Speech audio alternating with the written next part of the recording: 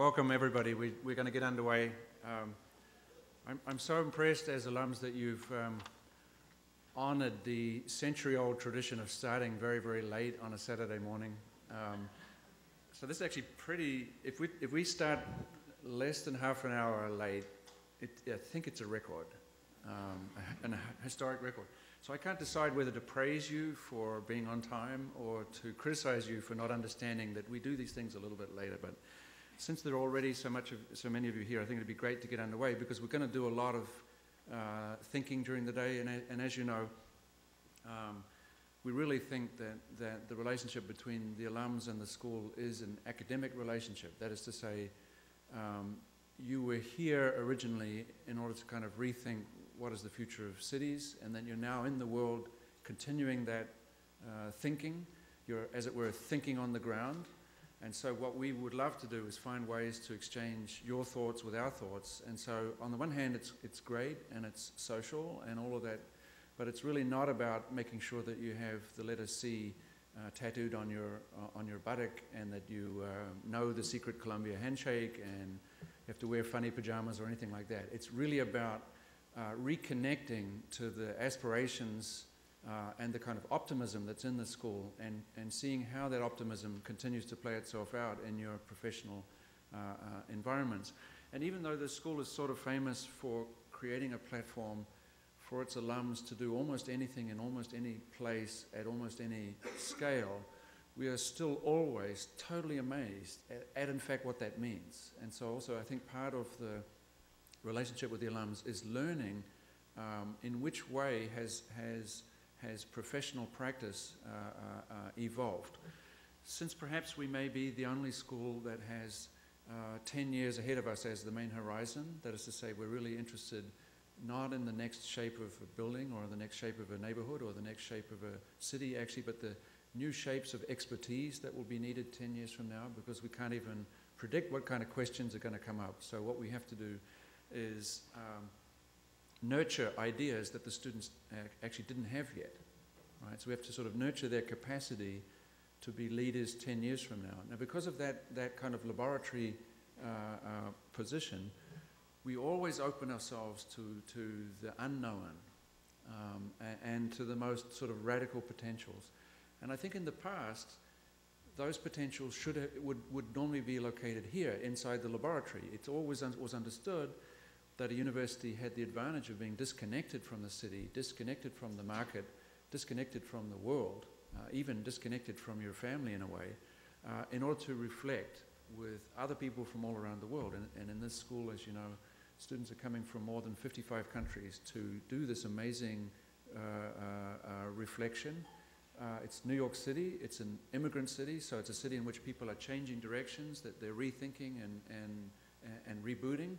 Uh, it's New York. It means you're only as good as whatever is coming out of your mouth. It really doesn't matter um, so much what you're wearing. Um, uh, but certainly doesn't matter really where you're coming from. Really, what matters is where you are going. Right? So everybody in New York is interested in where you are going. And the question, who are you? Uh, the answer is normally where you are going. Most New Yorkers would say, actually, uh, I'm not sure who I am. That's why I'm in New York. It's a kind of asylum for people who haven't figured out who they are. But they know more or less which direction they're going. So in the past, this school had was an experimental laboratory dedicated to future forms of expertise of, of the evolving city. And, and we would test ideas that might eventually become important ideas uh, in the field and in the profession. But this uh, geometry has been completely reversed over the last, I would say, uh, seven, uh, seven years or so, eight years or so, because the world now changes so fast that every professional has to have some of the skills of a university, has to have a research capacity and an agility and an openness to the future. Every profession is now synergized in a kind of network operation that's global but also cross-disciplinary. In other words, every dream that used to be only possible inside a school is now the reality of practice.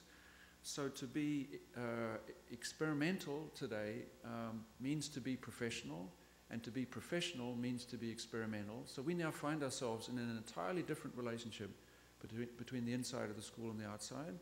So to have uh, a gathering of alums is an entirely different thing today than it would have been 10 years ago because really we are expecting to hear from you uh, more interesting things than we can tell you. Whereas in the past, we you would come back, um, you know, you would cry a lot, you would uh, uh, remember, uh, you would have awkward conversations with people that you used to be sleeping with, but there was a problem. Um, um, all of these dramas would go on, like in all of those famous movies about weddings and funerals and so on, have all that sort of quality. And then you would hear from young teachers uh, at the school about what's happening next, and you would hear from some of the senior teachers that really were important mentors for you, and you would leave with a fuzzy feeling um, about life and, and, and so on. And since Columbia is famously not a fuzzy place, we actually never did that. We simply never did that. There was no outreach to alums, no conversation. The reason that there is now an alumni association, which is the most beautiful uh, uh, invention of the last year in this school, is because actually for the school to remain as interesting as it was when you were there, we have to be in continuous dialogue with you about what's happening in the world and what new skill sets you are developing and what new problems you're locating in the, in the world. So the geometry of the school has changed a lot. Um, you know this building, it was designed in um, 1911. Um, you know, we moved slowly uh, uh, uptown. We took our place in the university right aside long, Low Library, and the facade of our building says that we know exactly what the future is. The future is ancient Greece, right? it's very clear. Um, but as you know, those of you who basically lived in this building when you were students here, inside is the opposite. Inside we say we really, we know everything about ancient Greece, but not just ancient Greece, ancient Egypt, ancient everything. We have the library, we have the world's library of all the good ideas from all the cultures and all the disciplines related to the city here. But this is only our platform for leaping into the unknown. So this facade of the building, which says we know perfectly the future, hides the fact that inside we are very, very uh, open and uncertain and experimental and testing different ideas. So that has been a beautiful facade. And maybe our discipline, whether it be architecture or urban design or urban planning or preservation or real estate development, maybe our discipline has also, also always had this very clear line. Our architects are not, um, uh, don't express doubt very much in public, right? They really stand beside their projects with an almost obscene confidence that what they have done is good for everybody, not just the people that use the building, but anybody that smells the building, uh, uh, sees it on a social network. Somebody looking from Mars at Earth, seeing the work of an architect, would become a better alien simply by virtue of looking, by looking at the work of an architect. In other words, this in, the architect's infinite confidence that their work is doing good. And I would say the same is true as you work through all the other disciplines.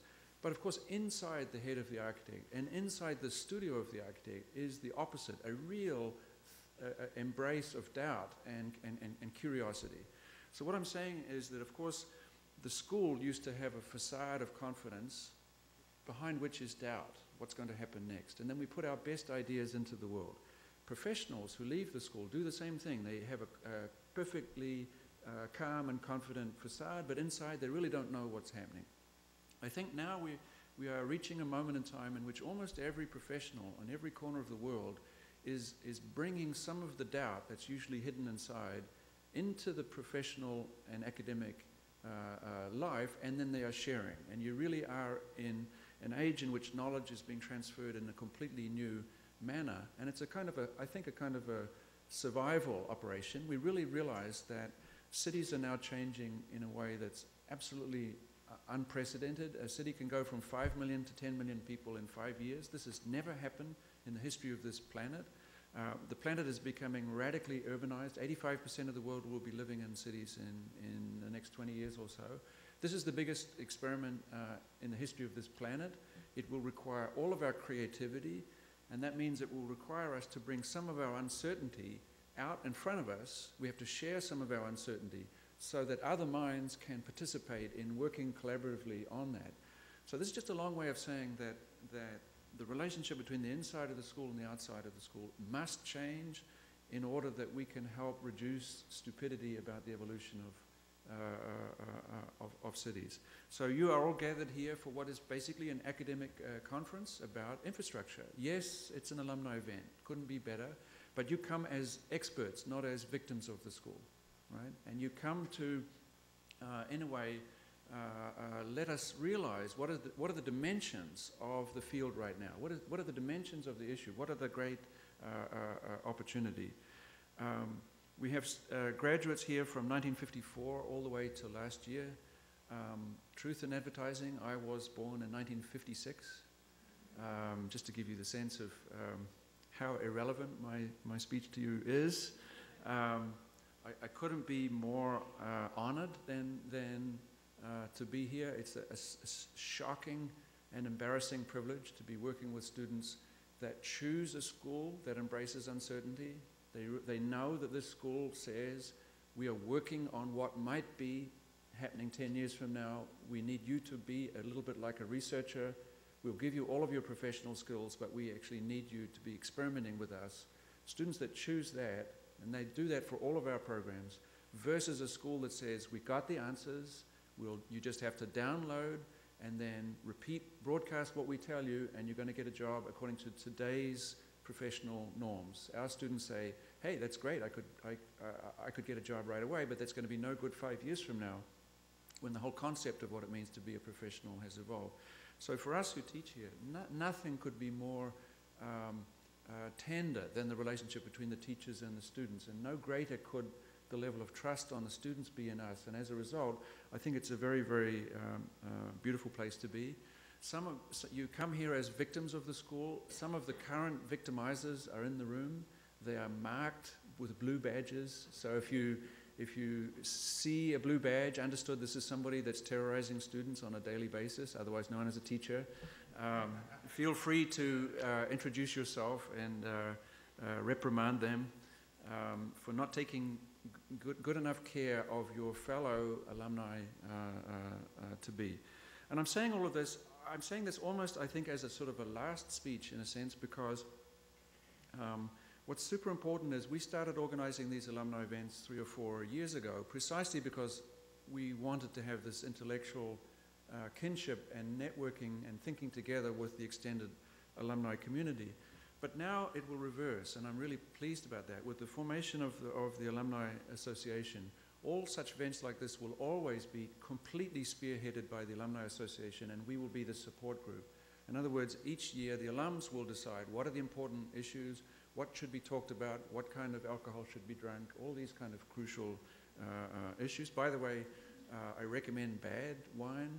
Um, uh, I believe it could be scientifically demonstrated that the best ideas in architecture and planning and so on come from a combination of extremely good coffee uh, and extremely bad wine. Um, and if the coffee is not good, uh, I'm sorry, things don't work out. And if the wine is really good, you do end the evening with a very nice discussion about you know, important issues, uh, life, philosophy, pleasure, and so on, but no work is done. Um, so somehow conversation is liberated by, by the body, of course. Right? So of course the alums will dictate how we would do that. And I really want to thank uh, Sharon Leibovitz, who maybe should stand up because you know her, of course. She's the real force that's guiding the Alumni Association. She's recovering from the trauma of graduating from the MArch program in 1991, I think it is. Um, and it's just everybody's in admiration for what she's doing. And I think um, if any of you have ideas about what you know what could happen next with the Alum Association and so on, please uh, uh, uh, talk with Sharon. Um, the, the, that association gets a lot of support from us, but in particular, you probably know already uh, uh, Lindsay Lawrence. She, can you wave up there? So again, if, if Sharon doesn't listen to you, talk to Lindsay, and Lindsay will call Sharon. Um, but basically, Lindsay's only job is to take care of the alumni needs, um, and no matter what they are. And what I'm saying to you is, we don't know what they are. In other words, you have to say what it is that you would like uh, us to help you uh, to do. Um, by the way, by being alumni, you're automatically members of this group. Um, it's not like those old things where they, you get you know, what they used to call LPs, three LPs, and then you have to pay for the rest. There's no, um, uh, you know, fees or anything. You, you are, by virtue of being alums, members of the Alumni Association, and you have all the rights uh, and responsibilities going there.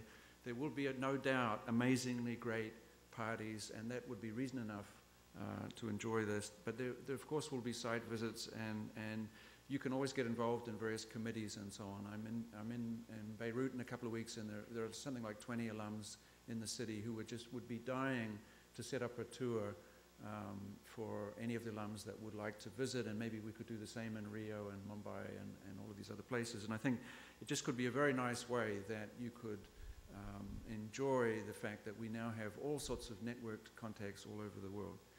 Um, anyway, I think it's a great moment for the alum, alums to be sort of galvanizing uh, uh, as a group, and um, it's not by accident, as I'm saying, that this, co this corresponds with the, with the radical change in the school. Uh, as you may know, um, we have not only now the, pr the programs, the six main programs of uh, that you're aware of, but then there are all the laboratories which go across programs dealing with questions of uh, ecology or networks or visualization or information or social justice or knowledge uh, and so on. We also have a series of initiatives that go between schools, so we would now work basically daily with the engineering school, with the School of Public Health, with the School of International Public Affairs, with the School of the Arts. Can you believe that for the first time this year a group of architecture students and their professor are collaborating with a group of artists and their professor, the great uh, uh, Liam Gillick, uh, and they're working together to make a pavilion that will be constructed here on the campus. It's actually a public toilet. Um, they make the argument that a society that doesn't provide public toilets doesn't really have the right to support art, so therefore they have to, they have to make a kind of project which is an artwork and an architectural work, and it's a public bathroom uh, on campus. So they're currently negotiating with um, a number of city agencies about how that will work. Um, but it, it, you would say to yourself, how come that never happened before? How come that architects who always think of themselves as artists and learn from artists never got together with architects and by the, with artists? And you know, it's almost impossible to be an artist today without your architectural portfolio and you're thinking about architecture because of this issue. What is the future of cities? This is not just an issue from an architecture school. This is an issue for art schools, for law schools, for medical schools, for public health, for social welfare, for journalism, for everything, for brain research. So basically, maybe what's changed since you were at the school is the entire university now thinks of itself as thinking about the questions of cities. This means the university has to get outside of New York because New York is a magnificent place. Actually, it's a role model for cosmopolitan living. It's actually a role model for uh, uh, e ecology and many, many other, other things. Uh, 200 languages on the street. It's a role model for what it means to be a global citizen. But it is an old technology. I mean, it is not uh, the laboratory city that it was in, in, in one time. It remains the media network city the real laboratories, of course, are in the Middle East, are in uh, uh, uh, East Asia, South Asia, Latin America, Africa, what used to be Russia. These are the places in which the uh, cities are evolving at a speed we've never seen. So this school now has research bases um, uh, in Beijing. We have a beautiful space near Forbidden City. It's a very large uh, space. In Mumbai, we have the most beautiful loft uh, space, a Studio X in Mumbai, very in, again in the historic uh, uh, end of the peninsula near Victoria Terminal. In Rio, we have an exquisite building which is four meters wide by 75 meters long and 35 meters tall. It's like a flat iron building uh, directly onto one of the historic uh, uh, plazas of Rio. In fact, it's the plaza in which the Constitution was signed and all the announcements used to be made. It has a beautiful gallery. It has an astonishingly good $15,000 espresso machine uh, to guarantee the quality of uh, thinking. Um, we have a problem that the alcohol is really of such a high quality, and we're, trying to, we're going to try to lower that uh, in the evening. But it's an amazing space. Likewise, in Amman, we are uh, inside a global center uh, in Amman, and we're also restoring the first Prime Minister's house of Jordan, which is in the very historic heart of Amman. And, and the city of Amman is, is, has been so touched by the fact that our students and faculty have been doing this that they have actually given us that building. So they, th they think we should take care of the legacy of this place. So that will be the Studio X in Amman. Um, why is that a big deal? Um, two years ago, the oldest street in human civilization was found half a kilometer from where that house is. That is to say, it, it's Neolithic. It makes Jericho look like a spring chicken. Um, this is uh, uh, Amman is where cities were born and where, let's say, all of the uh, conflict has passed through, but all the tenderness of the world somehow at least for now, remains. So we're very, very humbled uh, to be in Amman. We are developing our space in, in Moscow. And of course, we have one in downtown New York because this project is radically anti colonial. This is not about Starbucks. This is not about bad coffee, by the way, uh, uh, sold around the world. This is really about us being students of the world and participating through the next hundred years or so in the evolving discourse. Of course, these spaces are meant to be uh, available to anyone, especially alums, to do with whatever you like, but we don't really care which school you're coming from, which discipline. If you have an interest in the future of cities, these spaces belong to you. In the, in the morning there and the day, there are research spaces where people are working on books and exhibitions and research projects and studios and so on. And in the night, it's a salon where people are vibrantly discussing the future. The primary audience for these uh, uh, spaces is um, you know, people just uh, people like 25 to 35, 40. That is to say, I'm sorry to say, uh, you know, between graduation and vegetation. Right? I apologize to all of us who are over 40, um, but it's the group of people who left school are starting to become leaders in the professional environment, but still have the open aspirations, still feel themselves to be students, and need to get together in the evenings and argue about what might be the right thing to do before they have become so um, militarily focused on a particular skill set. So, for example, in Beijing, this means 400 young people turn up uh, every second evening or so to talk about this or, or that. Uh, um, about 150 now come to Mumbai events. Uh, Rio, we lose count. The whole building fills up. It's around about 200 people show up. Uh, New York's the same. We don't know where these people come from, how they find out about it. We never advertise. It's something to do with cell phones and tweets and all of that. But they're basically riding a vibrant uh, uh, uh energy level. Now, all of those qualities are qualities that you probably remember from your time in the school. And what I'm saying is, and I'm going to finish with this, is that of course, the great secret of a school is the studio space. And we are unique here that we have every program of the built environment. So it's not just architecture, it's, you know, it's urban planning, it's urban design, it's preservation, it's real estate development, it's all of these fields. And, and in a way, all of them, we, in all of those programs, we teach design.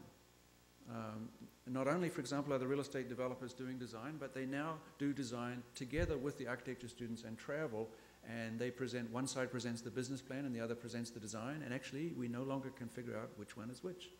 Uh, for many of you, this is the strangest uh, uh, uh, turn of events. Can you imagine that preservation and real estate are now in this kind of rich, exciting dialogue?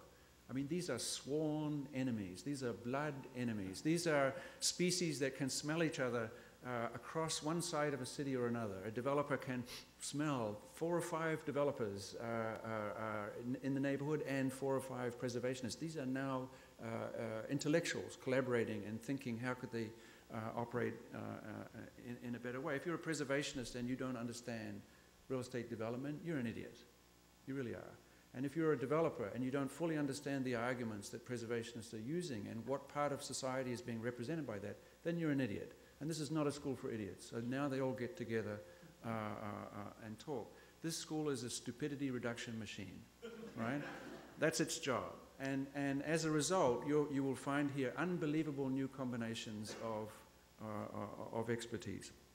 Anyway, um, all of this, by the way, will culminate in, a, in our biggest project yet, which is, an, which is going to be a new global, Center of Global Design and Development, which will be a sort of uh, uh, space outside the walls of the university, a major conference facility and research center that will enable us to host all of the different parts of the university on the question, what is the future of cities? um, but also invite all um, uh, people in New York that have any interest in that, but also all around the world, to actually try to produce the leading reports, the kind of key uh, white papers on the major issues facing global cities. So, in other words, now that we have this deterritorialized, deterritorialized network, where we are genuinely partners with people around the world, we'll actually have a space here where the highest level of thinking is expected to happen. This will be the flagship of this school, but will also be the flagship of the university. It's a very big, very expensive proposition. It's going really, really uh, uh, well.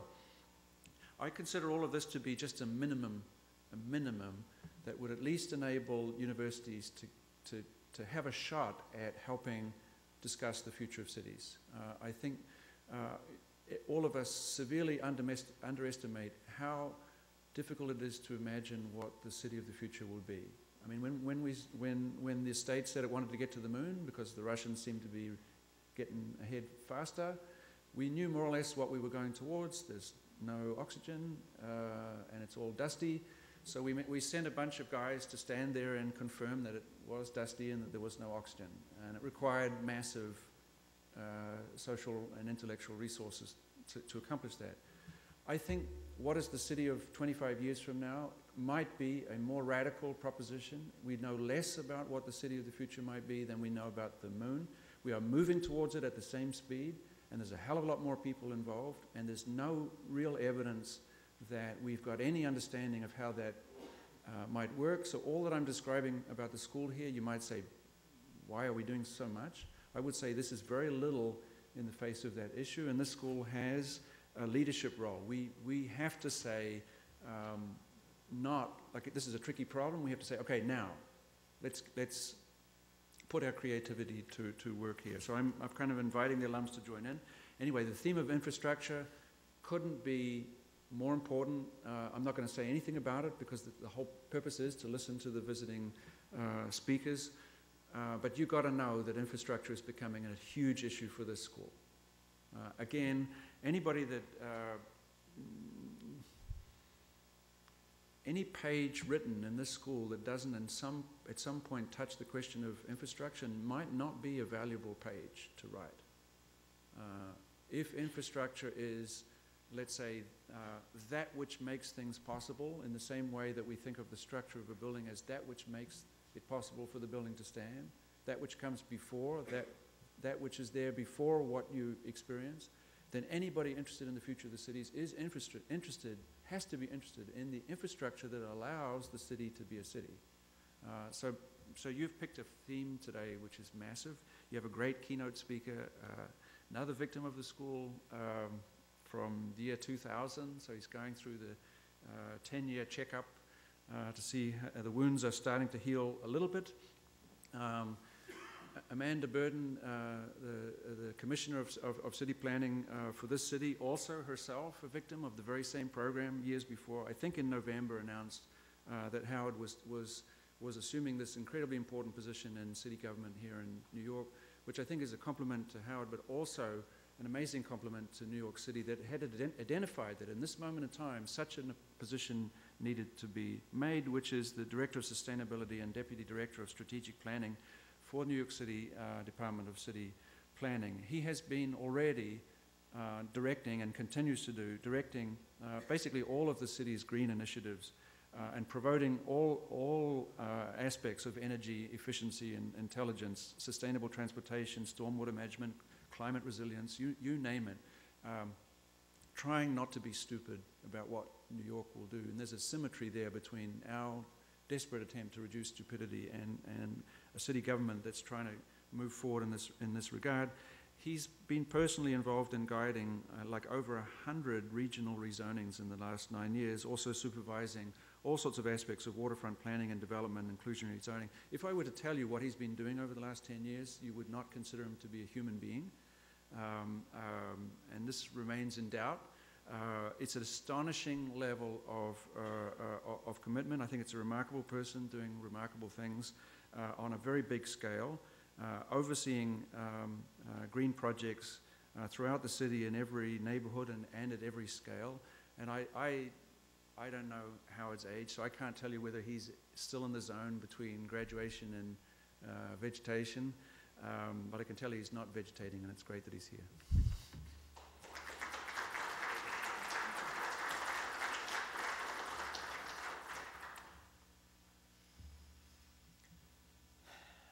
Thank you, uh, Dean Wigley. It's going to be very hard to uh, deliver after an introduction like that. I um, hope to live up to the uh, high standards that, uh, that, that, this uh, school continues to maintain, not only for intellectual discourse, but for sleeplessness, bad wine, and I think stupidity reduction. Um, I, I, I, definitely hope that I, this presentation lives up to that today. Uh, I'm very happy to be back here in Wood Auditorium, actually, after all this time. I think the last time I was standing up here was uh, presenting uh, a studio project uh, back in something like 1999, and I uh, nonetheless remain optimistic about how things are going to go today. Um, and, and hope no one is really lying in wait with points from back then that I haven't delivered on.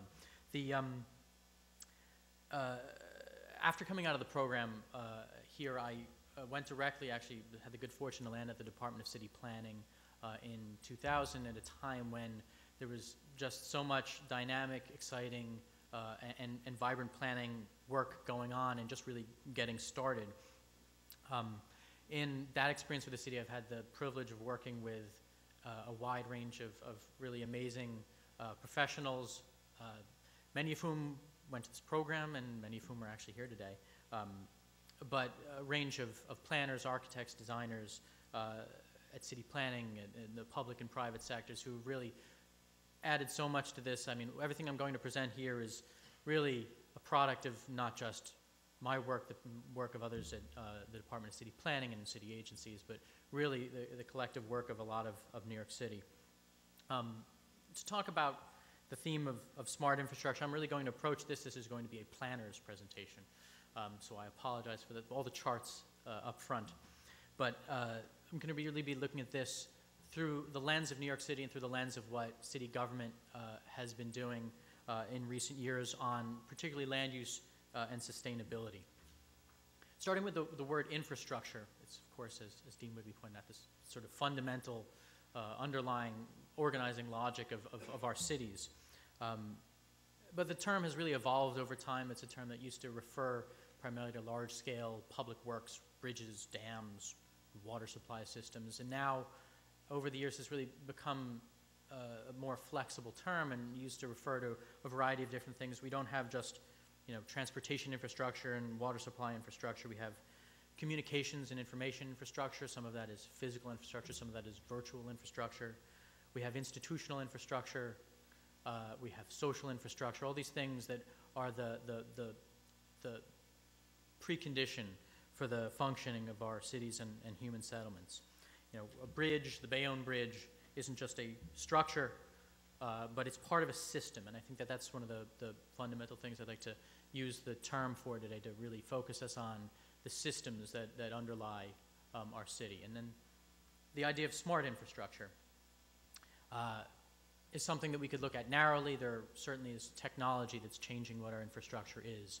Uh, just examples are the uh, walk past just about any building in, in New York City now, you'll see a, a new uh, DEP water meter on the outside, which uh, no longer does somebody have to ring your doorbell early in the morning to uh, come and read your water meter, uh, but they can actually read it wirelessly. And not only is that a convenience and it saves money, uh, but it also provides this incredibly rich stream of data to the Department of Environmental Protection.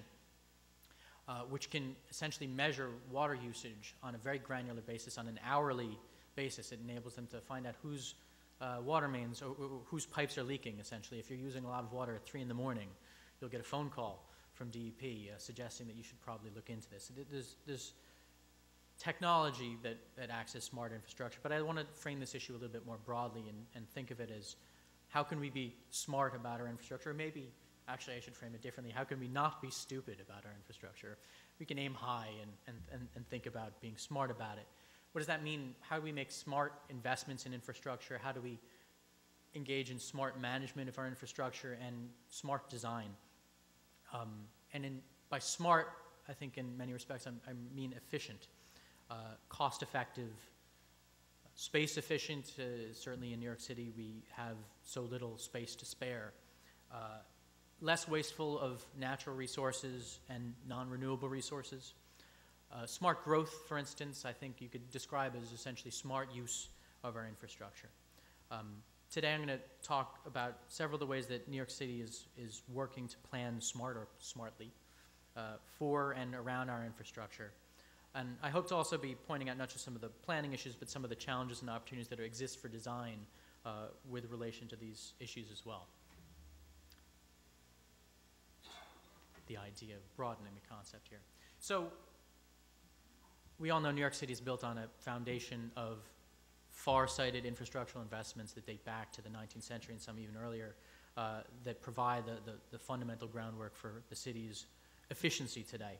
Uh, the Croton Water System, uh, which uh, opened in 1842, uh, gave the city access to a clean, reliable water supply for the first time. It's a gravity-fed system, so unlike other parts of the country, we're not spending uh, an enormous share of our energy budget on pumping water.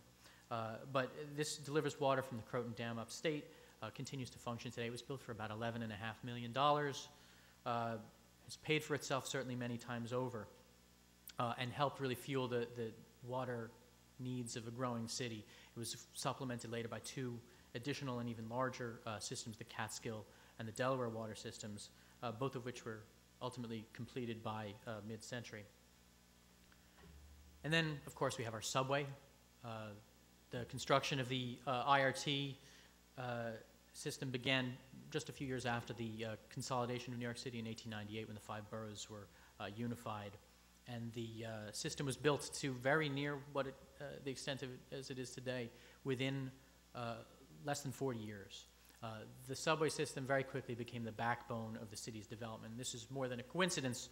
Uh, the nation's first zoning resolution in 1916 was really designed around the nation's first and still its largest uh, mass transit system, recognizing that this was the uh, fundamental organizing logic of, of where populations, where businesses could be located around the city. Today, when we talk about transit-oriented development and smart use of our transportation infrastructure, we think of the subway as the thing that enables us to live in, in very dense patterns. Well, this is certainly true, but uh, back when the subway was built, it also had something of the opposite set of benefits as well. In 1910, you see here uh, the, let me make sure I can use my pointer. Where's my, there we go. Uh, the city had a, a population uh, of about 4.7, 4.8 million in 1910, 2.3 million of them living in Manhattan, uh, as compared to today when we have about just under 1.6. Manhattan was, by any measure, overcrowded. There were over half a million people on the Lower East Side, and that's about uh, 10 or 15 more than are on Ludlow Street on any given Saturday night, I think. The, uh, the population was very heavily overcrowded, as you can see uh, in the darkest colors here. And one of the things that the subway did is allowed that population to disperse to the other parts of the city, to the other parts of uh, the, the boroughs to which the subway system connected. The densities at which New York uh, existed in 2000 are still, by any measure uh, in the United States, high densities. But it allowed the distribution of the population uh, in a dense settlement pattern uh, that uh, relieved the overcrowded situation, the overcrowded conditions of, of Manhattan at the time, and enabled uh, cluster development uh, throughout the boroughs. It extended the areas from which this, along with actually other infrastructure improvements that I'm glossing over here, the construction of bridges, tunnels for road and rail throughout the region, helped connect the growing central business district to a, a, a growing regional workforce as well.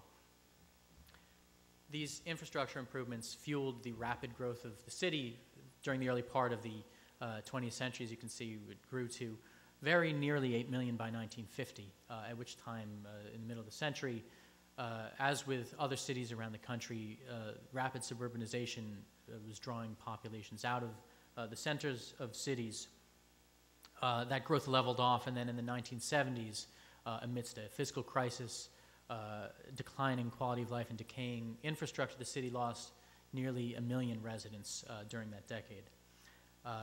through a focused and determined effort uh, in the decades that have followed, the city has rehabilitated uh, its infrastructure, and uh, once again, beginning in the 1980s, population resumed growing, uh, reached record uh, population of over 8 million in 2000, has continued to grow since then.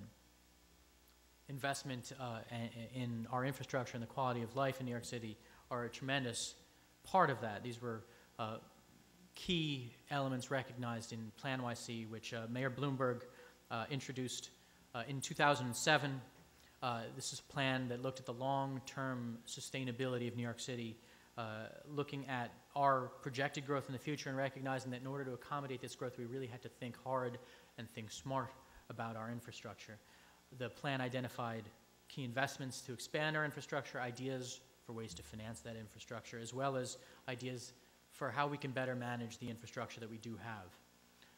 PlaNYC also identified uh, another, or really added to the, the policy discourse, uh, another element that really uh, is, is critical here, and I want to dwell on for a few minutes as the uh, representative of the, the, the, Director of Sustainability for uh, the City Planning Department, focus for a moment on um, greenhouse gas emissions. The plan, uh, PlaNYC, really heightened awareness of our greenhouse gas emissions and identified specific targets for reducing those, a decrease of uh, of 30% by the year 2030. By now, we're all here familiar with the severity and the, the urgency of, of the issue of, of global climate change and the importance of reducing our greenhouse gas emissions. Uh, one thing that we learned from PlaNYC and from the efforts that uh, it, it, it uh, uh, initiated was that in, in, by some measures we're actually doing incredibly well and it's because of our infrastructure.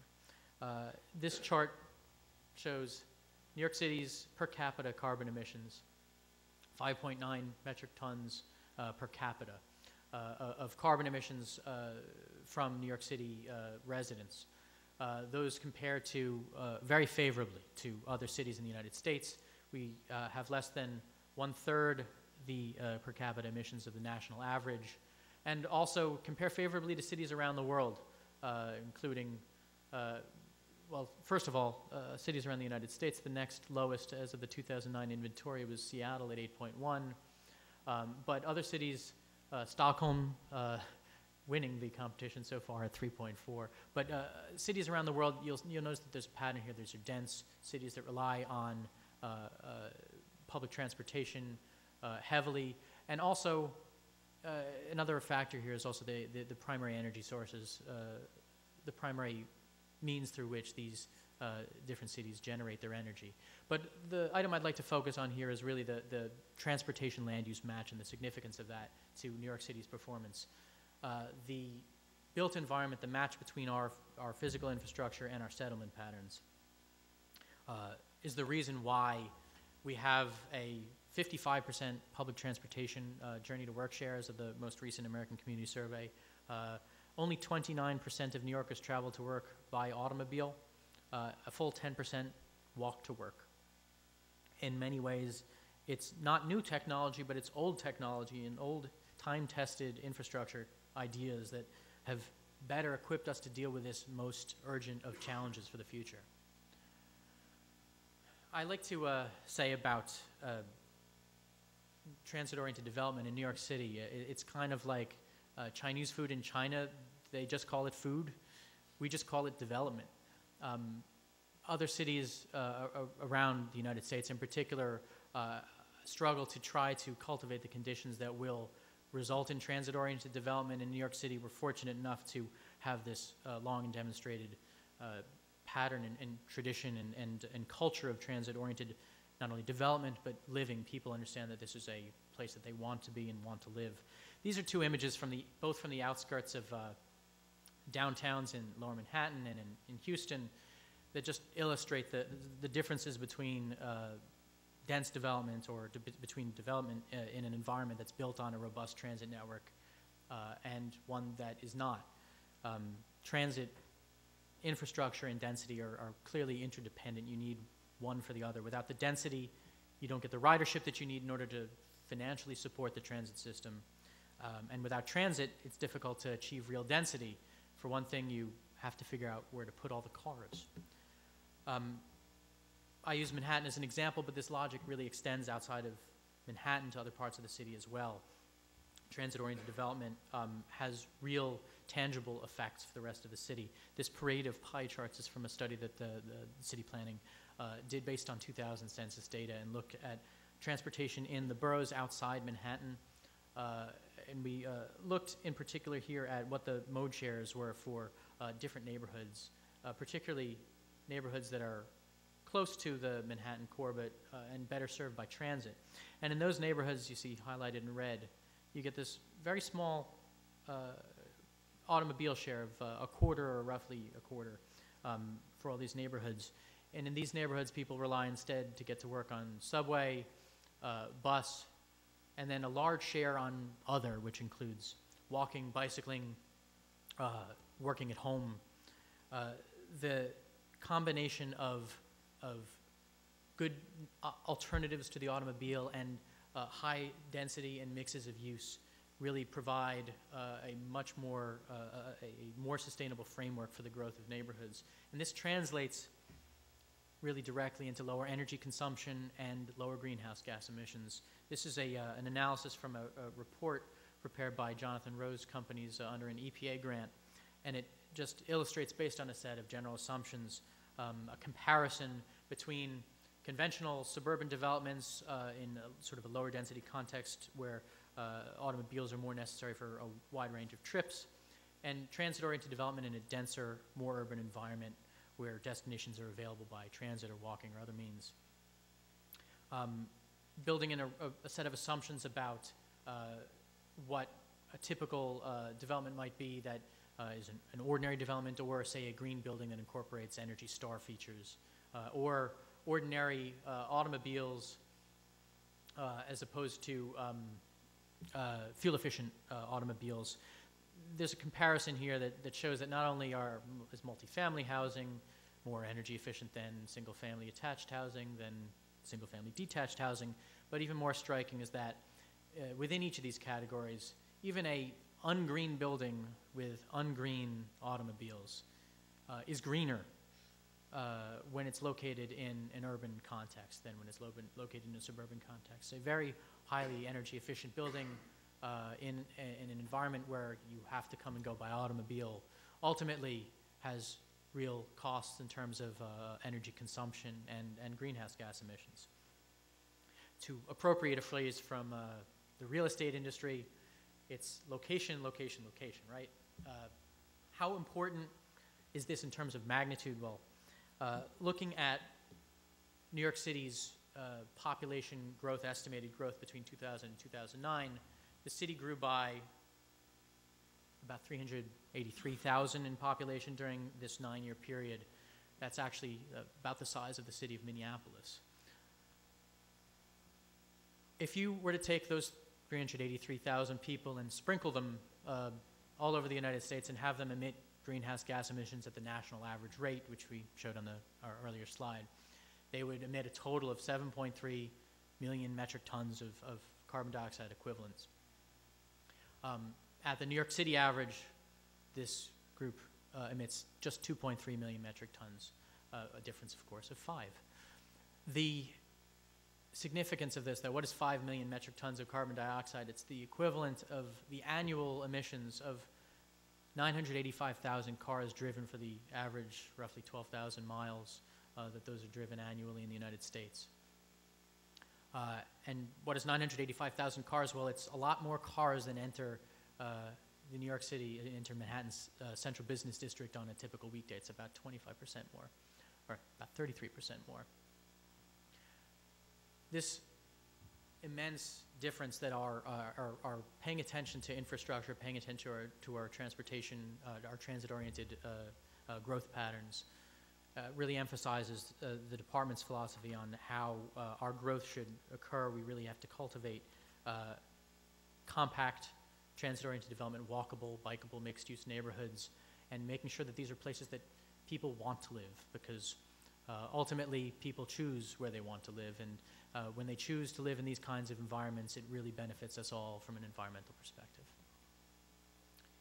Historically, as I mentioned, the city's growth spread throughout the boroughs uh, from the transit system, but uh, after mid-century that, uh, and actually after the 1970s in particular, that pattern dispersed somewhat. You can see that between 1970 and 2000, the proportion of uh, housing in the city that's within a half a mile of, uh, of public transit actually declined somewhat. Uh, in recent years, the, the, the, past decade roughly, this, the, the Department of City Planning, the city's land use policies have focused on channeling our potential for growth back toward transit. Um, and to that end, we've, uh, under the leadership of uh, Amanda Burden, have completed 109 uh, rezonings uh, of neighborhoods throughout the city that have focused on channeling growth towards transit, increasing the potential for uh, development in transit-served neighborhoods while limiting the potential for growth in auto-dependent neighborhoods. uh, where there are few alternatives to the automobile. And as a result of those rezonings in part, and as a result of the response of the marketplace, we've really seen that this dynamic has turned around.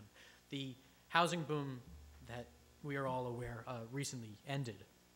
Um, but that housing boom, uh, while it was going on, was really essentially a transit oriented development boom in New York City.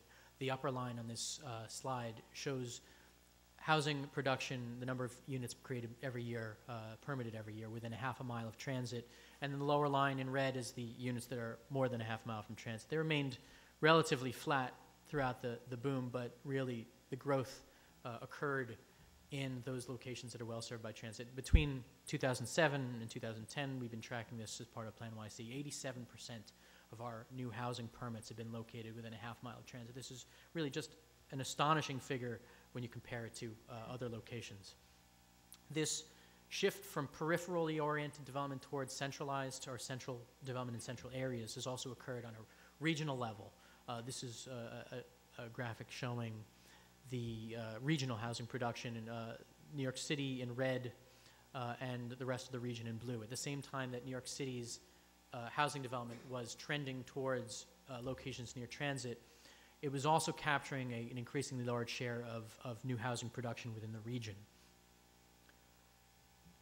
And a focus on transit-oriented development is not something that's limited to New York City. As a matter of fact, just yesterday, I, was uh, happy to uh, be in attendance at the kickoff of a new uh, multi-jurisdictional bi-state collaboration called New York uh, Connecticut Sustainable Communities, uh, which, with the support of a $3.5 million grant from uh, the Department of Housing and Urban Development through their Sustainable Communities Regional Planning Grant Program is uh, focusing on regional uh, planning and, and local implementation of, of regional planning goals to promote transit-oriented development at centers throughout the region, recognizing that the more we can channel population and job growth toward these centers, the better connected we all are to one another. Uh, this is a collaboration that involves uh, nine cities, four metropolitan planning organizations, two county governments, uh, and two regional planning organizations, uh, as well as the partnership with a, a, variety of state agencies and certainly the federal government. Um, New York City is very proud to be a, a, an active participant in, in this partnership. So I'd like to take a, few minutes to talk about some several case studies of, of major city planning rezoning initiatives and how they approached uh, opportunities to match land use and infrastructure um, particularly transportation infrastructure, uh, in a variety of different ways. Here in downtown Brooklyn, uh, we had the city's third largest business district uh, with extraordinary transit access served by many subway lines, served by the Long Island Railroad, but also lacking uh, in uh, activity, a 24-hour activity, and with restrictive zoning and uh, substantial amounts of underutilized land within the downtown area itself. The Downtown Brooklyn Plan, which was produced jointly by uh, City Planning and the city's Economic Development Corporation, saw the potential here for a multi-use uh, urban environment that serves not only residences, businesses, academic institutions, cultural institutions, uh, to really reactivate downtown Brooklyn and, and, and improve uh, not only the neighborhood but also the surrounding communities, uh, invigorating this as a, a real 24-hour neighborhood by replacing restrictive zoning with districts that allowed high density, uh, as of right, residential and office development. The plan really opened the door for downtown Brooklyn to emerge as a vibrant mixed use center. Um, the plan also paid careful attention to the urban design challenges of how to grow uh, uh, this kind of high density downtown while preserving and strengthening the uh, adjacent historic neighborhoods around its edges. Permitted density centered here around the uh, transit hubs and transitions down to the edges of the neighborhood uh, where the surrounding neighborhoods are stable, low-rise residential communities. Uh, specifically, tailored height and setback rules here were established in order to address Flatbush Avenue uh, as a dynamic and exciting boulevard and help turn it from uh, essentially a barrier, uh, a multi-lane thoroughfare that separated uh, two portions of the neighborhood and turn, really transform it into a, a boulevard. Um, there's also particular attention given to improvements of the Jay Street Transit Center, now the Jay Street Metrotech station as well as streetscape improvements. Uh, and it's also spawned additional efforts to improve uh, streetscape and the uh, retail environment of the Fulton Mall and other parts of the downtown area. So in, in, downtown Brooklyn, it was really a matter of taking the infrastructure that was in place and, uh, and, and, and making the best use of it. In Hudson Yards, uh, we had a very different situation. We had infrastructure in place. The uh, Caemmerer rail yards uh, shown here at the bottom of the picture are clearly an important piece of regional infrastructure, but the way they existed limited the potential for uh, the, the, the, the, sites themselves and the neighborhood around them. Um, the relationship here between infrastructure and uh, development were somewhat different than uh, in, say, downtown Brooklyn. Before this project, there were basically no uh, remaining sites for a full floor plate office building left in Midtown Manhattan. There was definitely uh, an evident need to find more room for the central business district to expand in order to help the city's economy and tax base grow. Uh, and on Midtown's doorstep sat these 59 blocks where uh, restrictive zoning didn't allow the construction of large commercial or residential buildings. Uh, city planning looked comprehensively at this 59 block area and created a large, uh, complex, intricate rezoning uh, uh, and urban design master plan for the area. One of the main reasons that this area had seen little growth and development for the previous 40 years was a lack of transportation. The nearest subway was at uh, 8th Avenue, uh, really more than a 10 minute walk away from much of the area, limiting the potential for high density mixed use development. The critical element here in this project was the extension of the number seven train, which currently terminates at Times Square, to 34th Street and 11th Avenue, to the Javits Center, to the uh, uh, sites of the Eastern and Western rail yards.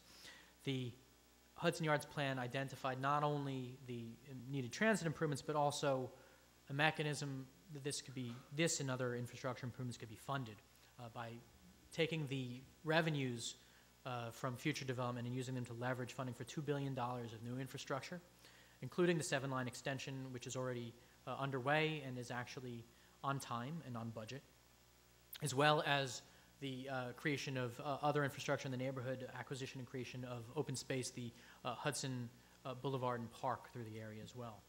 The plan adopted in 2005 provided for 24 million square feet of commercial space and over 13,000 units of mixed income housing, along with a new street network and a new uh, network of, of open space land, with Landscape Boulevard running through the new neighborhood. So in downtown Brooklyn, we had the infrastructure. In Hudson Yards, we had to create the infrastructure. In West Chelsea, we really had to reimagine the infrastructure.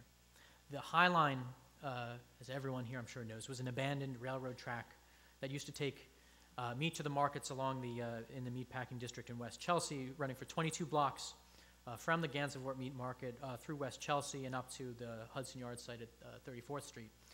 this is what the High Line looked like before the project. Uh, essentially, weeds, wild growth, had, had turned the elevated trestle into an accidental linear park, uh, linear garden in the sky, um, with a hint of what the real potential was for this. At the same time, the structure itself was widely regarded as a blighting influence on the neighborhood and was slated for demolition. Advocates, most importantly, the uh, Friends of the High Line, uh, had the insight that the High Line had this immense potential to add value to the area and to really actually serve as the organizing principle for a new neighborhood. The department's planning for West Chelsea and the High Line, championed by our Commissioner uh, Amanda Burden, re envisioned the neighborhood with a High Line as the defining feature of the neighborhood, really taking a defunct piece of transportation infrastructure and turning it into the open space infrastructure that holds the neighborhood together both uh, functionally and aesthetically.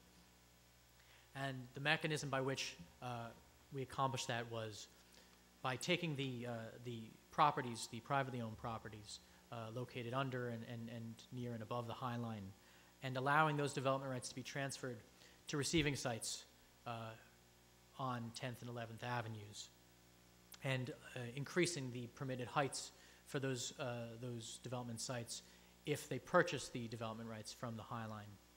Uh, this type of mechanism, this transfer of development rights, created value not only for the owners of the parcels located under the High Line, but also for the surrounding districts and helped lead to the consensus that uh, achieved the approval of the zoning for the area, which ultimately led to the creation of the park designed by James Corner Field Operations with uh, Diller, Scofidio, and Renfro. The park has probably been the single greatest instantaneous hit of, uh, uh, of, of, New York City's uh, open space system. It's really known throughout the world as a premier destination uh, for the public. But it also spawned this incredible activity uh, in terms of development and architecture in the surrounding neighborhood. It really catalyzed a tremendous amount of private investment, over 34 development projects from the most distinguished architects uh, in the world, establishing West Chelsea as one of the most exciting neighborhoods in the city, if not the world, in terms of contemporary architecture. So, those are just a few examples. Sometimes you have the infrastructure, sometimes you need to provide it. Um, sometimes you have to figure out what else to do with it. There are places, certainly, where uh, infrastructure investment uh, is, is, is uh, widespread, is happening on an incredibly an incredible scale, for instance, in China, where uh, explosive urban growth and a tremendous investment in, in, in, in, those urban centers and the transportation within and between them uh, is being made in passenger rail in particular, linking the incredibly dynamic new cities of China. Uh, anyone following the uh, debates or the news from Washington these days knows that uh, we have less of a consensus, shall we say, in the, uh, the importance of uh, federal investments uh, in infrastructure. Um, despite some of those challenging circumstances, we are in New York City continuing to make substantial investments in our infrastructure, including here, the Second Avenue subway under, under construction uh, the uh, uh, portion above 63rd Street on the east side.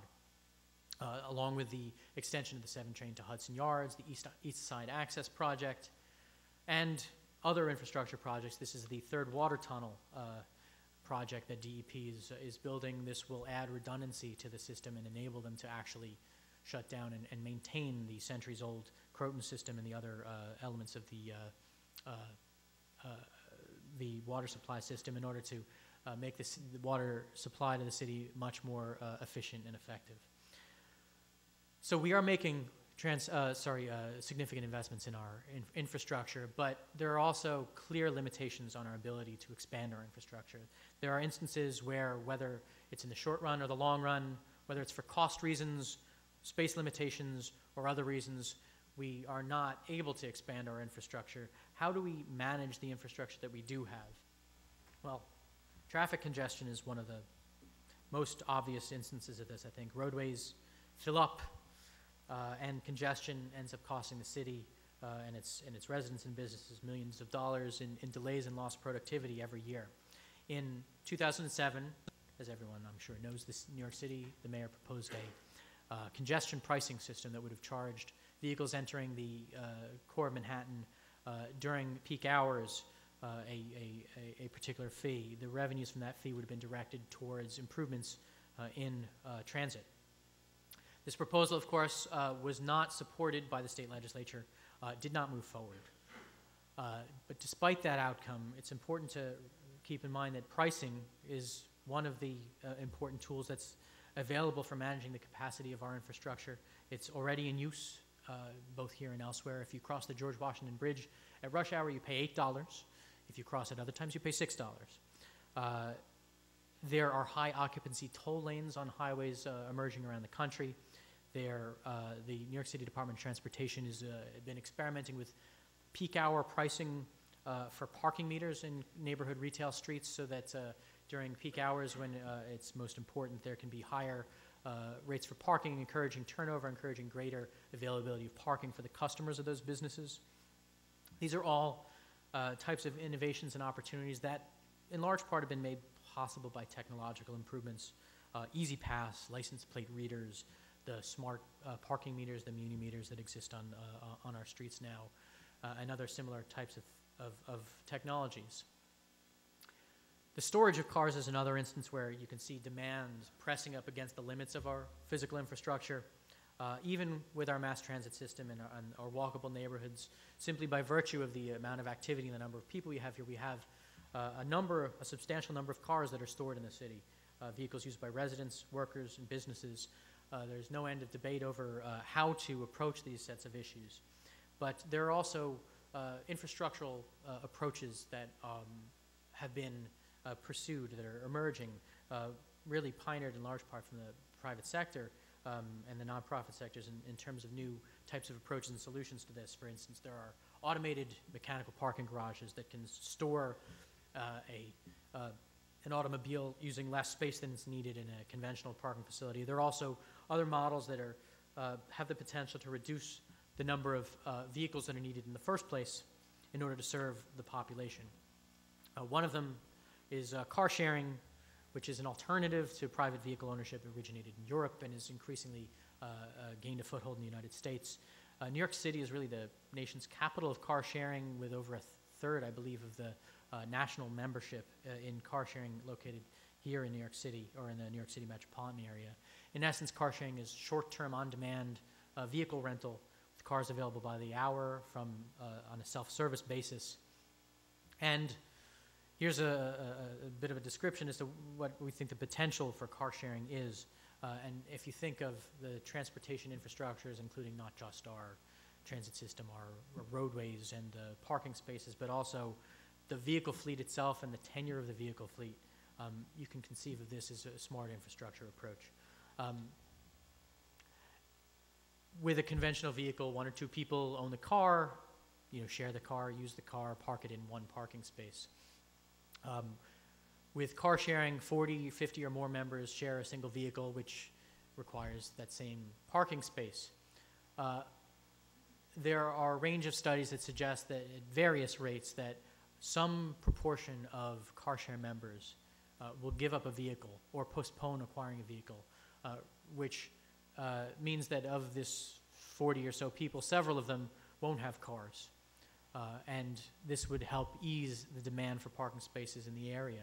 Um, this is one of the models by which uh, uh, car sharing, uh, we think, has the real potential to uh, help us deal with this, the space crunch for parking. It also changes the economics of how people use a car. When you own a car, um, you pay a lot for that car, uh, and you pay that either up front or on an ongoing basis through your lease payments. Um, but essentially, the cost of using that car for, on an individual uh, basis is relatively small. It's the uh, cost of the fuel you use, it's the cost of perhaps parking, it's the cost of um, the hassle factor that you go through uh, of accessing the car, but really you have a large sunk cost uh, in, in, your, in your vehicle up front. With car sharing, the economics are somewhat different. You pay a relatively small membership fee, and you pay for every hour or mile that you use the car. And what this tends to do is it encourages people to think in advance about how they use the car, to combine trips into linked trips. Uh, those trips, the multiple people using this, this same shared car going to use it at different times of the day uh, based on however they uh, can essentially allocate their time. And this can help alleviate uh, sort of peak hour uh, congestion. It helps provide people with more alternatives to owning an automobile as well. There's other kinds of transportation infrastructure that are, of course, very important. Uh, bicycles need room too, whether it's uh, on-street bike lanes for, uh, uh, for within the, the on-street transportation network, where DOT has very actively been expanding the dedicated space for, for bicycles, or the storage of bicycles. Bicycles need parking too, as a matter of fact. Um, City Planning did a study a few years ago that found that one of the most important reasons people cited for uh, not commuting to work by bicycle was that they didn't have a safe place to store their bicycle um, at the workplace in particular, or, or even at home. Uh, the number of uh, bicycles over the years that I've seen stored on people's balconies, I think, was a testament to this. Um, city planning, in recognition of this, uh, uh just a couple of years ago, uh, instituted new zoning requirements that require bicycle parking, secure enclosed bicycle parking in new buildings. Beyond transportation, of course, there's other important critical infrastructure in the city. Another um, key element is our energy infrastructure. Uh, whether it's the generation of infrastructure, uh, the generation of energy uh, within the city or outside the city, or the transmission of the of the energy throughout the city. Uh, we know what happens when these systems fail. Uh, this is actually a picture from the uh, 2003 blackout, which was not caused locally; was had a, essentially a regional um, cause. But there have been other instances, particularly, uh, I think, uh, in northwestern Queens in 2006, when our uh, distribution network for electricity was overtaxed.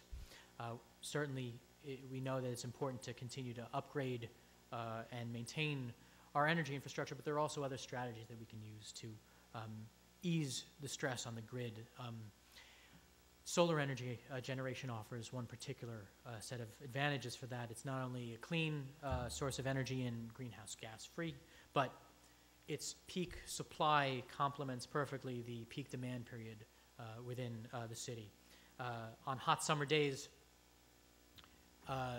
where the energy demand is at its peak, also solar generation is at its peak. So, a collaboration uh, using a uh, actually a U.S. Department of Energy grant, a collaboration between uh, city agencies, CUNY, uh, Con Edison, and a number of state agencies. They uh, created what are called the New York City Solar Empowerment Zones, where there's targeted uh, support and investment in solar power development in areas where it can really help ease stress on the grid and help prevent or postpone or prevent the need for further investments in the grid in order to give the system more robustness and, and, and actually prevent investments that are going to require uh, uh, increases in electricity rates. Our buildings are also a key part of our infrastructure, and they, uh, in addition to the supply side of energy, we also have to think very hard about the demand side. Uh, over three quarters of our greenhouse gas emissions in New York City come from our buildings and the lion's share of our energy consumption. Um, as part of PlaNYC, there's been a strong focus on identifying means of improving the energy performance of our buildings, not just our new buildings, but our existing buildings, which are going to really represent 85% of the buildings we have in 2030. We need to really think of our buildings as infrastructure opportunities, uh, whether it's for conserving energy through uh, improved insulation, uh, generating energy through solar or other means, um, reconceptualizing how we fuel our vehicle fleet um, by, uh, you know, essentially as electric vehicles enter the fleet, uh, we no longer conceptualize of a gas station as something you go to or, or a fueling station, but something that happens in the garage itself. Um, we can also use our buildings to help uh, manage stormwater in particular. There are all sorts of other things that we can conceive of as infrastructure that supports the vital functions and the thriving of our neighborhoods. Um, there are many, many elements, too many to list here, just a few. Housing, jobs, uh, local retail and services, uh, open space. These are all things that we have to think about in the planning of our neighborhoods. Uh, and we're continuing to seek new ways to address these in, in the planning uh, of our neighborhoods. City planning is, I'm just going to highlight a couple of things here. The inclusionary housing program is a program that's existed since 1987, but we expanded dramatically in 2005 to uh, help produce and preserve uh, affordable housing in neighborhoods that are experiencing substantial new development. Through this program, new developments are eligible for a density bonus of up to 33% uh, when they provide permanently affordable housing. Uh, since the expansion of this program in 2005, it's been applied to more than two dozen neighborhoods that have been rezoned to encourage new development, and the program has to date produced over 3,300 units of, of affordable housing, permanently affordable housing. Another innovative uh, example is our FRESH program, where uh, working with the Department of Health, we looked at neighborhoods that are food deserts, um, where residents lacked access to healthy, fresh food, certainly a key part of anything you would conceive of as our, the infrastructure for healthy, sustainable neighborhoods. Um, neighborhoods where, because of that lack of, uh, of access to food, we had high levels of, uh, of public health uh, diet-related diseases, uh, such as uh, obesity and uh, diabetes. In these areas, EDC and city planning together put together a, a package of financial and zoning incentives to create uh, stores that offer a wide range of healthy, fresh foods uh, targeted to these areas of greatest need. There's just two more topics I'd like to, to try to touch on briefly. One of them is green infrastructure, and, and, and this is really um, something uh, important. In the, in the development of, of, New York City in our highly urbanized form uh, over the years, we've replaced obviously natural systems by mechanical systems and, and hardscape um, and structure. And in the process, too often, I think we undervalued the natural services that are provided by uh, the systems that had existed there before. Street trees are probably the best example I can think of uh, of multifunctional infrastructure. Um, whoever designed them was clearly a genius. They are the most space efficient means of reducing the urban heat island effect and also one of the most cost effective. They capture and retain stormwater, they can reduce local flooding and runoff, prevent combined sewer overflows that pollute our waterways. They provide aesthetic benefits, uh, beautify our streets and neighborhoods. Uh, and as part of the Million Trees New York City initiative, uh, city planning recently put into effect uh, zoning text amendments that require the planting of street trees along the perimeter of, of new developments throughout the city. We also uh, put into place requirements for the landscaping uh, and planting of trees throughout the commercial and community facility parking lots, recognizing that these are areas that otherwise can easily turn into asphalt, uh, seas of asphalt, essentially, that, that uh, contribute to urban heat-on effect and, and runoff problems. DEP, our uh, Department of Environmental Protection, uh, and its green infrastructure plan uh, really recognize the uh, potential of this kind of approach to infrastructure, which is really different from the traditional, what we call gray approach to infrastructure. Um, with gray infrastructure, investments are costly, take a, a long period of time, uh, and benefits are really realized uh, only at some point in the future and, and, uh, and are generally of, of one particular uh, type of benefit. You know, sewer pipes provide drainage functions, uh, for instance. Um, green infrastructure offers not only flexibility but also the ability to achieve a wider range of benefits. It can be deployed at, in small increments over wide, wide areas, uh, realizing benefits immediately, uh, and with those benefits growing over time. Uh, DEP's uh, analysis of the potential for uh, infrastructure investments showed that there are cost-effective investments in traditional, uh, what they call gray infrastructure that can be made. But then beyond a certain point, those further investments in, in pipes become less cost-effective. And instead, they're working on substituting investments in, in green infrastructure. This, this includes items like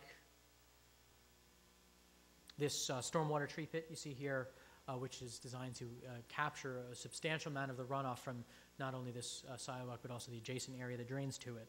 Um, these types of best management practices are being piloted uh, and further uh, developed throughout the city. Uh, everything from green street treatments to these tree pits to green roofs and blue roofs uh, that can help slow the flow of uh, stormwater into the city's sewer system and reduce uh, combined sewer outflows. Our waterfront um, is actually itself a, an important piece of infrastructure in some ways. It's the infrastructure that keeps the land there. Uh, this waterfront infrastructure includes miles, uh, we have 520 miles of, of shoreline throughout New York City. Um, this includes miles of bulkheads, seawalls, riprap, and other types of stabilized shoreline, as well as natural shorelines. Um, we have other types of facilities all along the waterfront, parkland, docks, ferry terminals, uh, port facilities, maritime and support services, uh, all of which uh, have this uh, type of uh, important waterfront infrastructure that, that supports the functioning of these uses as well as the uses that depend on them. Uh, today, those types of infrastructure are already at risk of adverse effects from severe storms.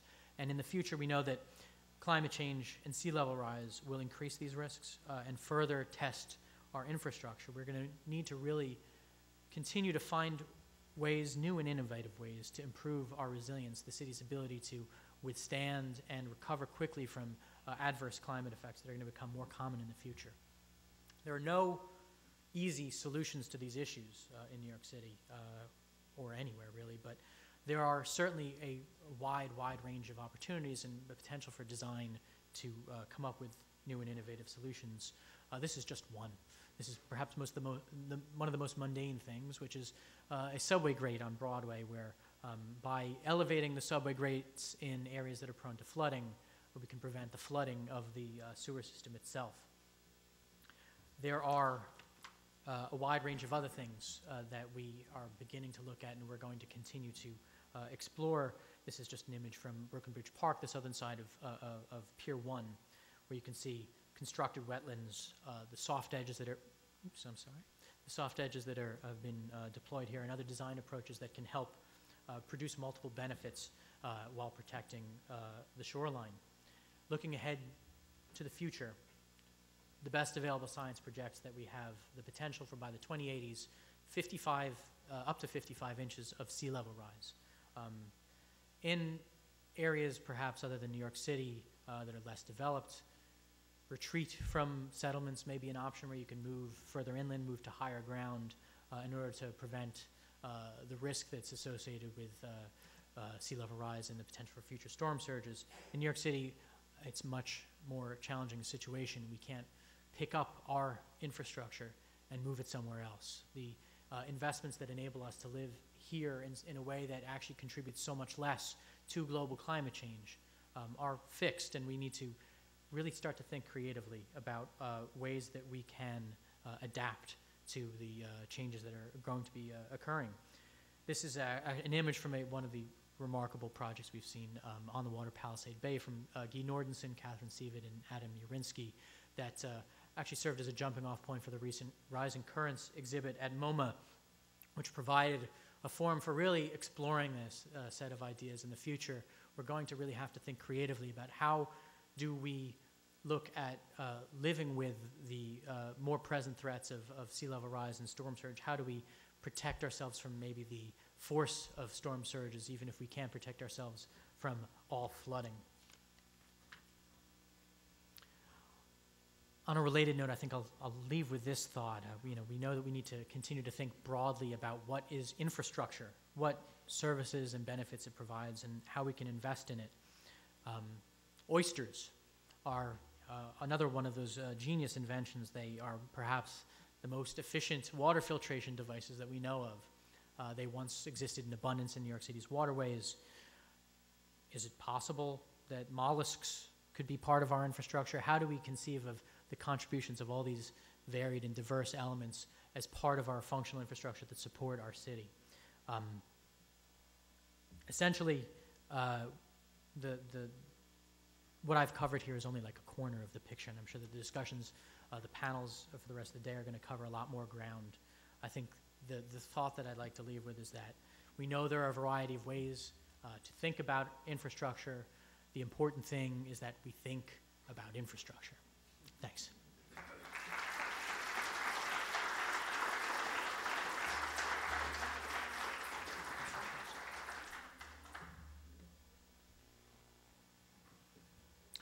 If anyone has questions, I'll be happy to answer them.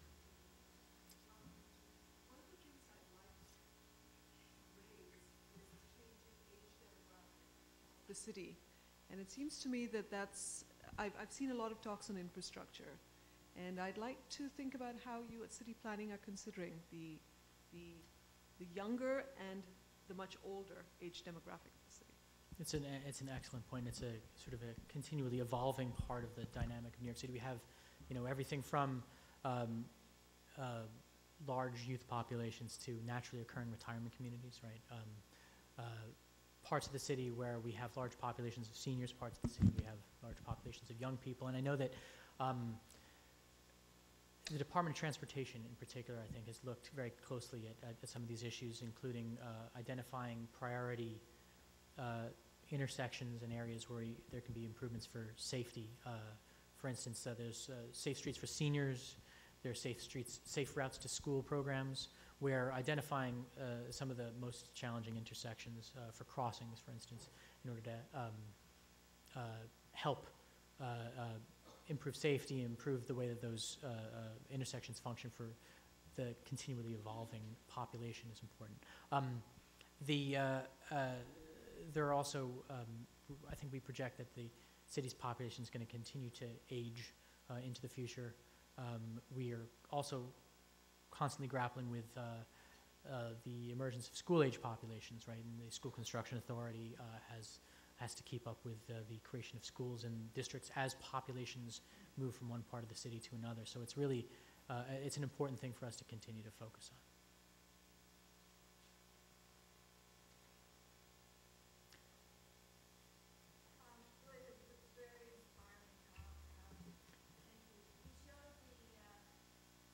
the grates that protect, keep the water from going into the subway. Uh, But that seems like an opportunity for the future, for those who involved to actually also decrease water going, stormwater runoff into the CSO. It's actually all, these- it's like a really good example of agencies focusing as, working as silos. The idea that they would put this significant investment into those grates, and all it does is make the water go into sewer. I mean, I'm not, I'm not, I'm just picking at it, I'm just Uh, uh, no, of course. If anybody's looking at it as a possibility for interagency. I think there's really a, um, the DEP Green Infrastructure Plan, I'm speaking on behalf of a lot of my fellow agencies, so if there's anyone here from those agencies, please feel free to pipe up too. But Uh, I don't want to speak incorrectly on anyone else's behalf, but um, there's a, a real uh, heavy focus in the green infrastructure plan on not just looking uh, on, on how do you do this in, a, in, a, in an interagency context because the right of way, the street is there are about 15 or 20 agencies that have jurisdiction over different pieces of it, and in terms of capital improvements, coordinating that is a, a real administrative challenge. And so there's a very focused effort. There's a, an interagency task force that's working with the capital programs of all these agencies to identify ways to um, pair these kinds of uh, investments so that, you know, if um, the Parks Department is making an investment uh, in a sidewalk adjacent to a park, for instance, or if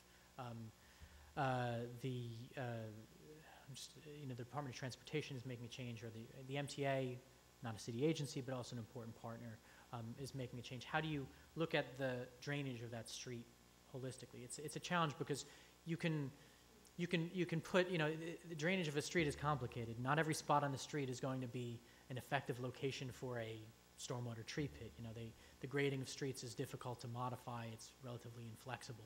So you really have to find where the opportunities are. And yes, you can't just push the water into someone else's, uh, you know, area of responsibility.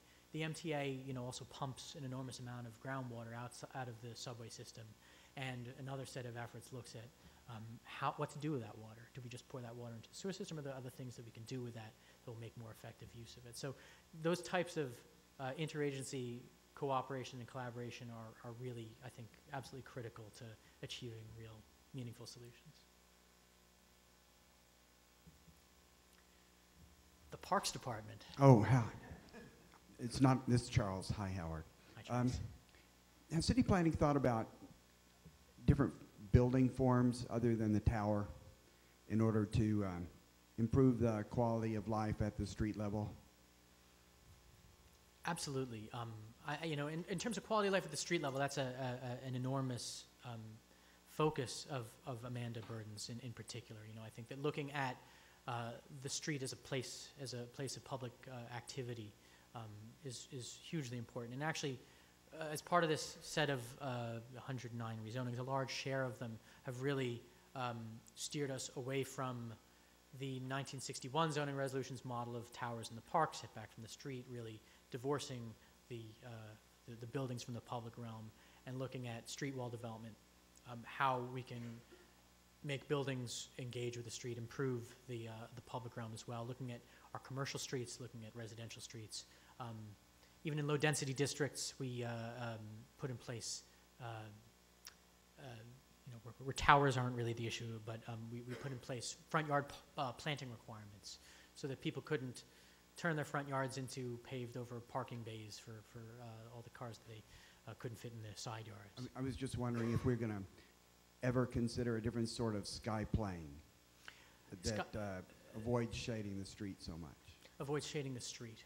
You know, uh, there's a balance, I think. Um, you know, tower development in some senses reduces uh, shading in the sense that you have a narrower, uh, you know, uh, shadow that's cast across areas.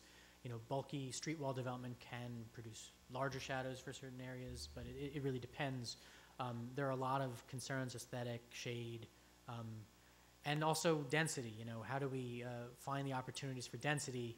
Uh, we can't go down, not for residential at least. Uh, we can't go down, so we have to find ways to go up uh, in ways that are going to balance all those concerns. So, um, looking at the interaction between, uh, you know, there's some different interesting ideas certainly with uh, Teardrop Park in Battery Park City, how to look at harvesting sunlight from the tops of buildings and bringing it down into the park itself. There are all sorts of different ways that we can try to get at these types of issues.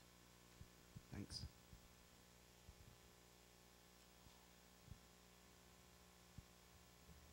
So we're right on schedule. Um, uh, First wanted to thank uh, Howard for absolutely great talk, and I'm sure a lot, a lot of these issues